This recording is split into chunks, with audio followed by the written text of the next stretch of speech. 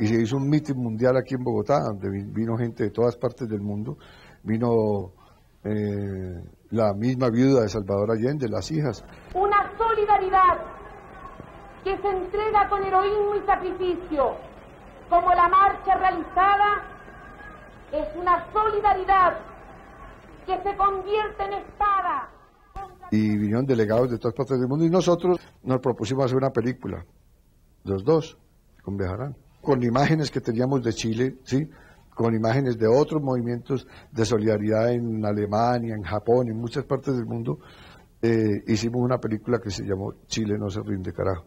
Oiga, mire, vea, la juventud se agita con la patria socialista.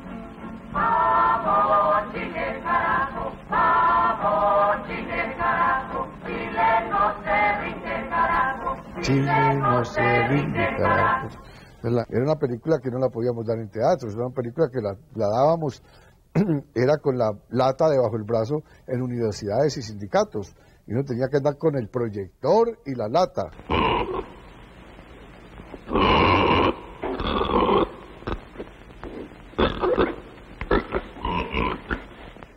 ¿Qué industria del cine se podía desarrollar eh, en esas condiciones? Ninguna. Entonces a mí sí me interesaba el cine de 35 milímetros y comencé entonces a hacer cine eh, de, eh, de sobreprecio.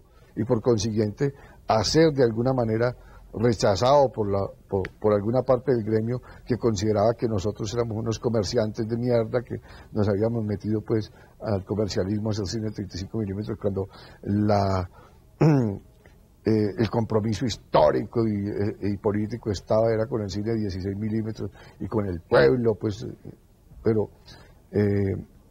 yo me fui por esa otra línea. Señal Memoria, imágenes y sonidos para la historia.